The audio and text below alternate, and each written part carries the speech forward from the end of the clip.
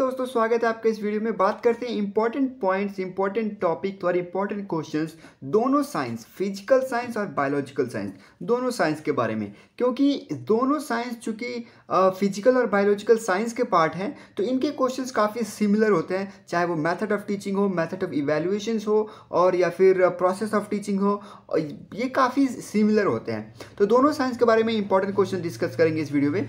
सबसे पहले जानते हैं किसके बारे में? साइंस के बारे में। तो देखिए, ये दोनों चीज़ें साइंस की भाग हैं। तो आपसे सवाल ये भी पूछा जा सकता है कि आप साइंस से क्या समझते हैं, विज्ञान से क्या समझते हैं? तो आसान से शब्दों में, इससे पहले कि आप किताबी भाषा में जाएँ, आप आसान से शब्दों में समझ जाइए कि विज्ञान कैसे कहते हैं। देखिए, विज्ञान दो शब्दों से मिलकर बनाए। वी प्लस ज्ञान। वी का अर्थ होता है विशेष, ज्ञान का मतलब होता है ज्ञान। यानी कि किसी भी विशेष प्रकार के ज्ञान को अध्ययन करना विज्ञान कहलाता है। विशिष्ट ज्ञान, विशेष ज्ञान, सुव्यवस्थित ज्ञान, सुसंगठित ज्ञान, इसी को हम क्या कहते हैं? विज्ञान कहते हैं। अब आइए लिखित भाषा में देखिए एग्ज़ाम्स में कैसे लिखना है। व्यापक अर्थ में किसी भी विशेष ज्ञान वस्तु ज्ञान या व्यवस्थित ज्ञान को विज्ञान कहते हैं। भाई, वही बात है। विशेष ज्ञान, व्यवस्थित ज्ञान, विशिष्ट ज्ञान, सुसंगठित ज्ञान, इसी को क्या कहते हैं? विज्ञान कहते हैं। विज्ञान शब्द दो शब्दों से मिलकर बना है। वी प्लस ज्ञान। प्लस में मतलब आप प्लस ऐसे लिखिएगा, ठीक है? वी तथा ज्ञान जिसका अर्थ होता है विशेष प्रकार का ज्ञान अथवा विशिष्ट ज्ञान, ठीक है? विज्ञान है क्या वास्तव में? विज्ञान मानवीय क्रियाओं में से एक है, इंसानी क्रियाओं में से एक है, जिसे मनुष्य अपनी आवश्यकताओं तथा तो इच्छाओं की पूर्ति के लिए आविष्कार करता है। तो ये हो गई विज्ञान के बारे में। आसान से शब्दों में समझ जाइए कि विज्ञान क्या है? विशिष्ट ज्ञान, विशेष प्रकार का ज्ञान ही विज्ञान कहलाता है। तो ये हो गई इस नॉर्मल विज्ञान की बात। अब बात करेंगे भौतिकी विज्ञान। तो आपसे ये भी पूछा जा सकता है कि भौतिकी विज्ञान किसे कहते हैं या जीव विज्ञान किसे कहते हैं? तो सबसे पहले देखिए भौतिक विज्ञान के बारे में। तो विज्ञान के बारे में आपने जाना कि विशेष प्रकार का ज्ञान तो भौतिकी विज्ञान क्या है भाई?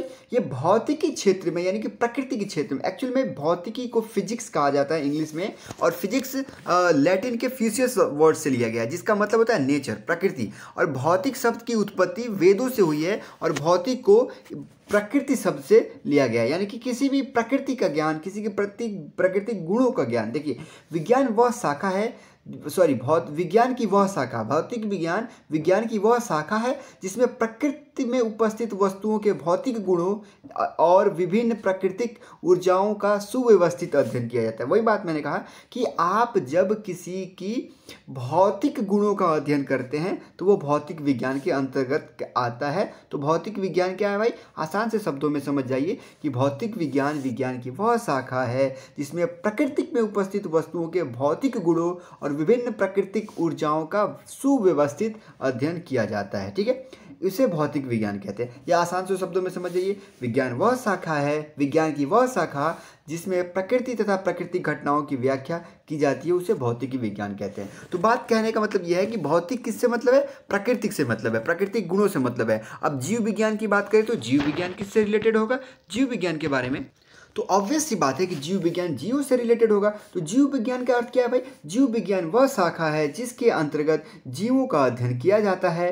बायोलॉजी शब्द दो शब्दों से मिलकर बना है। बायो प्लस लॉजी मतलब बायो का मतलब होता है जीवित लिविंग और लॉजिस का मतलब होता है टू स्टडी इसके अंतर्गत जीवित जीवों का अध्ययन किया जाता है। जीव विज्ञान के जनक अरस्तु को कहा जाता है। समझ में आ गई बात? है जीव भौतिक विज्ञान में भौतिकी गुणों का अध्ययन जीव विज्ञान में जीवों का जीवों का अध्ययन और जीव विज्ञान के जनक अरस्तु को कहा जाता है। जीव विज्ञान की प्रमुख दो शाखाएँ हैं, जंतु विज्ञान और वनस्पति विज्ञान। तो इसके बारे में बताने की आपको ज़रूरत तो बिल्कुल भी नहीं होगी, लेकिन एक बार बता देते हैं कि जंतु विज्ञान के अंदर क्या होता है? जंतुओं से संबंधित विज्ञान है, जिसमें सभी प्रकार के जंतुओं का अध्ययन किया जाता है। जंतु जगत में उनके जीवों को सम्मिलित किया जाता है, जिसमें कोशिका, भित्ति का अभाव होता है, जो प्रचलन में समर्थ लेकिन स्वयं भोजन का निर्माण नहीं कर सकते। तो वो जीव जो स्वयं भोजन का वह सॉरी वह जंतु जो स्वयं भोजन का निर्माण नहीं कर सकते, उनके बारे में वैज्ञानिक अध्ययन, जीव विज्ञान अध्ययन कहलाता है। वनस्पति विज्ञान का मतलब क्या है वनस्पति विज्ञान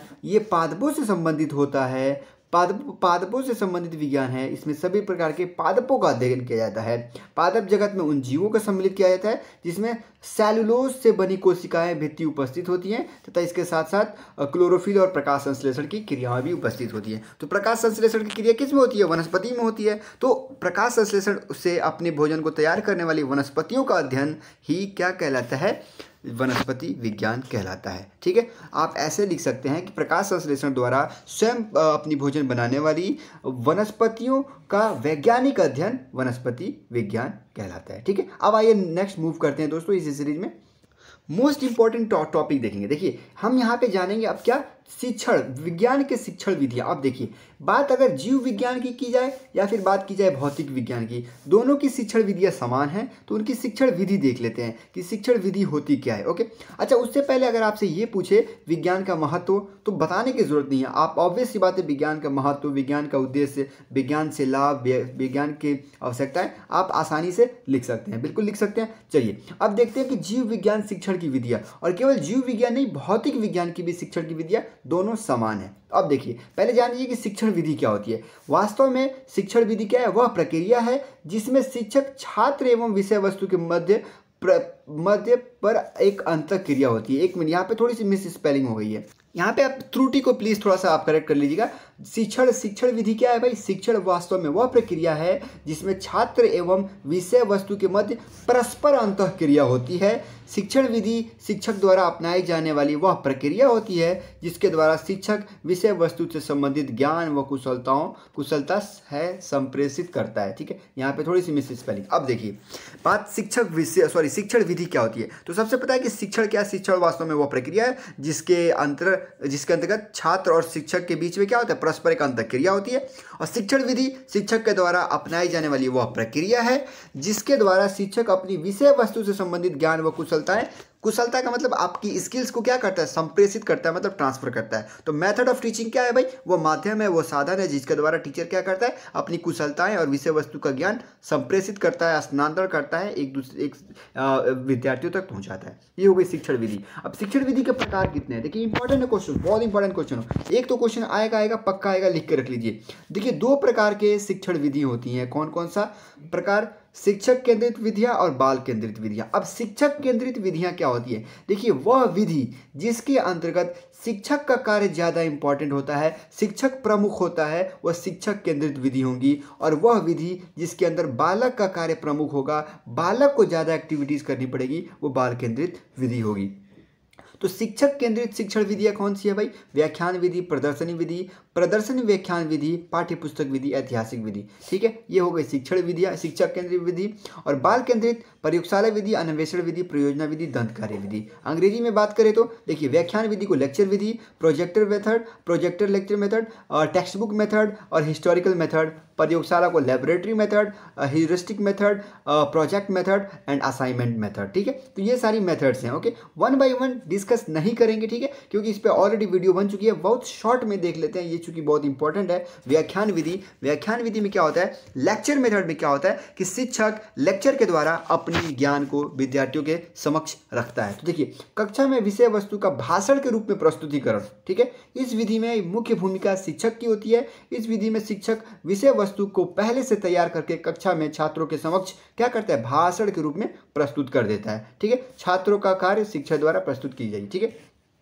तो ये भाषण के रूप में व्याख्यान करके लेक्चर मेथड से पढ़ाया जाता है इसको लेक्चर मेथड कहते हैं। इसके गुण आप और दोस्त आप स्वयं लिख सकते हैं। इसके गुण क्या हो सकते हैं भाई? इसके गुण ये हो सकते हैं कि आसानी से ज़्यादा बच्चों को पढ़ाया जा सकता है। इसमें ये होता है, समय कम लगता है। इसमें क्या होता है? इसमें एक स्पीकर मतलब शिक्षक को अच्छा स्पीकर होना चाहिए। इसमें विद्यार्थियों को लिसनिंग यानी कि सुनने की स्किल्स भी डेवलप होती है तो ये इसके गुण हो गए। दोष क्या होगा भाई? भाई दोस्त ये हो जाएगा कि इंटरेस्टिंग नहीं होता। ये शिक्षक केंद्रित होता है, छात्रों के रुचि का का रुचि को, को ध्यान में नहीं रखा जाता है तो ये इसके गुण और दोष हो जाएँगे। तो प्लीज़ आप इसको स्वयं से लिख दीजिएगा। प्रदर्शनी विधि डेमोन्स्ट्रेशन मेथड ठीक है? डेमोन्स्ट्रेशन मेथड क्या होता है?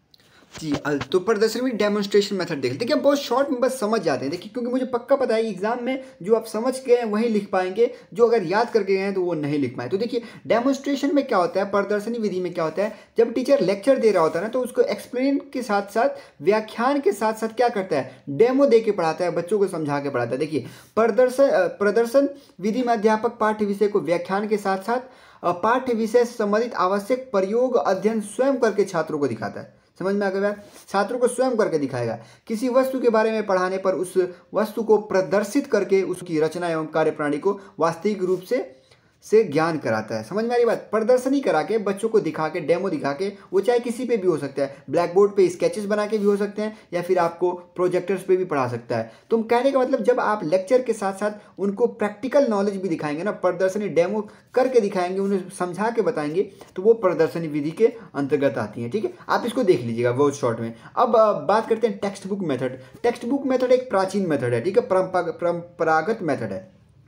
यह एक प्राचीन एवं परंपरागत शिक्षण विधि है। इस विधि में शिक्षण का आधार पाठ्य पुस्तक होता है। पाठ्य पुस्तक की सहायता से शिक्षक विद्यार्थियों को पढ़ाते हैं। इस विधि में शिक्षक विद्यार्थियों द्वारा पाठ्य को बार बार पढ़ाते तथा बीच बीच में उसका अर्थ स्पष्ट करते हैं। मतलब बुक से रिलेटेड है टेक्स्ट बुक्स मेथड ठीक है? इस विधि द्वारा विद्यार्थियों का पठन पाठन की क्षमता विकसित होती है। तो ये हो गई टेक्स्ट बुक मेथड ठीक है? अब बात करते हैं ह्यूरिस्टिक मेथड अन्वेषण मेथड अन्वेषण विधि। ये काफ़ी इंपॉर्टेंट है, इसको हम थोड़ा सा एक्सप्लेन कर देंगे। अब आप जब पाठ्य पुस्तक देखिए, मुझे पक्का पता है कि आप ना इसके गुण और दोष स्वयं लिख सकते हैं। जब आप बस सोचेंगे ध्यान से कि पाठ्य पुस्तक के गुण क्या हो सकते हैं। पाठ्य पुस्तक से गुण ये हो सकते हैं कि बच्चे इसे आसानी समझ जाएँगे। बच्चे जब चाहे इसे पढ़ सकते हैं, बच्चे इसे एग्ज़ाम्स में तैयारी कर सकते हैं बच्चे इससे क्या होता है? उनके पास हमेशा एक टेक्स्ट बुक उपलब्ध होता है, जिसे वो जब चाहे अध्ययन कर सकते हैं। इसकी दोस्त क्या हो जाएँगी? इसके दोस्त आप अपने ध्यान से लिख सकते हैं कि ये नॉन इंटरेस्टिंग होता है, ठीक है? और समझने के लिए एक शिक्षक की ज़रूरत होती है, एक स्किल शिक्षक की ज़रूरत होती है तो ये इसके गुण और दोष आप स्वयं लिख सकते हैं इजिली आई होप सो अन्वेषण मेथड ह्यूरिस्टिक मेथड ये बहुत ज़्यादा इंपॉर्टेंट है। इसको हम एक्सप्लेन कर देते हैं। इसमें देखिए क्या होता है। इससे इससे, इसमें तथ्यों, सिद्धांतों आदि की शिक्षा की अपेक्षा, ज्ञान की प्राप्ति कैसी की जाए, इस बात पर अधिक बल दिया दिया जाता है। कहने का मतलब बच्चों को पढ़ाने से ज़्यादा आप इस बात पे बल देते हैं कि बच्चे स्वयं से उस चीज़ को कैसे सीखें, स्वयं से उस चीज़ का अध्ययन कैसे करें, इस बात पे ज़्यादा बल दिया जाता है। देखिए, शैक्षिक दृष्टि से यह एक महत्वपूर्ण विधि है, क्योंकि इसके द्वारा विद्यार्थियों में खोजी प्रवृत्ति, वैज्ञानिक अभिवृत्ति एवं वैज्ञानिक दृष्टिकोण का विकास होता है। मतलब बच्चे स्वयं से अध्ययन करना सीखते हैं इसमें, बच्चे स्वयं से रिसर्च करके, प्रैक्टिकल करके सीखना इसमें सीखते हैं ह्यूरिस्टिक मेथड में। अन्वेषण, इसको खोज विधि भी कहा जाता है। देखिए, अन्वेषण विधि के जनक हेनरी एड्रॉड आर्मस्टॉन्ग हैं, इस विधि को ह्यूरिस्टिक विधि के नाम से भी जाना जाता है। अब देखिए, कुछ डेफिनेशन शिक्षण की वह विधि जिसमें एक बालक के, को एक अच्छे अनुसंध अनुसंधानकर्ता या खोजी के रूप में देखा जाता है। कहने का मतलब है, जब आप एक अच्छे रिसर्चर बनेंगे ना तो इस मेथड का आपको यूज़ करना पड़ेगा। बालकों में कम कम से कम बताया जाए जितना अधिक हो, संभव हो उसे खोजने के लिए प्रोत्साहित किया जाए। तो जो ह्यूरिस्टिक और अन्वेषण का मतलब ये इस चीज़ पे ज़ोर देता है कि बालक खुद से खोज करके रिसर्च करके कैसे ज़्यादा से ज़्यादा सीखेंगे। ये ह्यूरिस्टिक मेथड अन्वेषण विधि बहुत ज़्यादा इंपॉर्टेंट है दोस्तों। इसके गुण फटाफट देख लीजिए। यह विधि तर्क निर्णय कल्पना चिंतन आदि का उपयुक्त अवसर प्रदान करता है जिसमें बालक के मानसिक विकास की प्रकृति में तीव्रता बनी रहती है। गणित तथा विज्ञान में यह विधि काफ़ी उपयोगी साबित होता है क्योंकि यह छात्रों में मनोवैज्ञानिक भावना और मनोवैज्ञानिक दृष्टिकोण का निर्माण करती है। ह्यूरिस्टिक विधि छात्र को ज्ञान की खोज करने की स्थिति के रूप में रखती है। यह विधि छात्रों को स्वयं गणित या विज्ञान का कार्य करने हेतु प्रेरित करती है। यह विधि करके सीखने पर आधारित होती है। ये इसके गुण हो गए। ठीक है, अब आइए बात करते हैं प्रयोगशाला विधि। दोस्तों, बहुत ज़्यादा इंपॉर्टेंट है। प्रयोगशाला का मतलब आप सबको पता है कि लैब में बच्चे प्रैक्टिकल करके सीखते हैं। तो प्रयोगशाला विधि क्या भाई? विज्ञान की शिक्षा में वास्तव में प्रयोगशाला में ही संभव है। इसलिए आधुनिक शिक्षा में प्रणाली आधुनिक शिक्षा प्रणाली में प्रायोगिक कार्य पर विशेष बल दिया जाता है। अच्छा याद रखिए, आपसे सवाल बस ये भी पूछा जा सकता है कि भौतिक विज्ञान में प्रयोगशाला विधि का क्या महत्व है? भौतिक विज्ञान में प्रयोगशाला विधि को एक्सप्लेन करिए। या जीव विज्ञान में प्रयोगशाला विधि से आप क्या समझते हैं? या केवल ये भी पूछा जा सकता है कि प्रयोगशाला विधि से आप क्या समझते हैं? गणित में भी ये सवाल पूछा जा सकता है। तो प्रयोगशाला विधि का मतलब यही है कि प्रायोगिक विधि में विज्ञान से संबंधित संबंधित उपकरण, आवश्यक वस्तुओं आदि की सहायता से विज्ञान के नियमों, सिद्धांतों एवं धारणाओं का प्रयोग सत्यापन किया जाता है। ठीक है? तो जो भी प्रॉपर उपकरण है, उसके द्वारा विज्ञान के जो नियम है, उसका सत्यापन करके आपको सीखा जा, सिखाया जाता है। इस विधि में विद्यार्थी व्यक्तिगत रूप से प्रयोग करके प्रत्यक्ष अनुभव प्राप्त करते हैं, ओके? प्रयोगशाला में करके सीखने, निरीक्षण करके सीखने, ज्ञात से अज्ञात जैसे महत्वपूर्ण सिद्धांतों का उपयोग किया जाता है, ओके दोस्तों? नेक्स्ट देखते हैं यहाँ पे। करके सीखने पर आधारित होने के कारण ये अत्यंत प्रभावी विधि है। इस विद्यार्थी इस विधि में विद्यार्थी पूर्ण रूप से सक्रिय होते हैं। तो ये हो गया प्रयोगशाला विधि, ओके? अब अब बात करते हैं नेक्स्ट दोस्तों, इस वीडियो को यहीं फिनिश करते हैं, खत्म करते हैं, ठीक है? नेक्स्ट वीडियो में तुरंत बना के अपलोड कर रहा हूँ। उसमें हम जानेंगे कि विज्ञान के शिक्षण में प्रयोगशाला का क्या महत्व है, ठीक है? और प्रयोगशाला जब आप निर्माण करते हैं, एक अच्छे प्रयोगशाला के कौन कौन से तत्व होते हैं कौन कौन से कारक होते हैं? और साथ ही साथ अगले वीडियो में ये जानेंगे कि विज्ञान के क्षेत्र में पाठ्य पुस्तक का क्या महत्व होता है, ठीक है? पाठ्य पुस्तक को कहते किसे हैं? और भौतिक विज्ञान और जीव विज्ञान में पाठ्य पुस्तक की क्या विशेषताएँ हैं? और साथ ही साथ हम ये देखेंगे अगले वीडियो में कि संग्रहालय में, यानी कि म्यूज़ियम क्या होता है, ठीक है? तो ये सारी चीज़ें देखेंगे अगले वीडियो में। उम्मीद है दोस्तों कुछ चीज़ें समझ में आ रही होंगी। ऐसे छोटे छोटे पार्ट में पढ़ेंगे, ठीक है? मैं मैं बस रिक्वेस्ट ये करूँगा कि आप जब भी आपको टाइम मिले, दस मिनट, पंद्रह मिनट, वीडियो को देखिए, चीज़ों को समझ आइए और अपनी भाषा में एग्ज़ाम में लिख के आइए, ओके? तो मिलते हैं अगले वीडियो में। बाकी आप कमेंट बताइए ये जानकारी आपको कैसे लगी। मिलते हैं अगले वीडियो में, मिलते हैं कमेंट बॉक्स में। जय हिंद, जय भारत दोस्तों।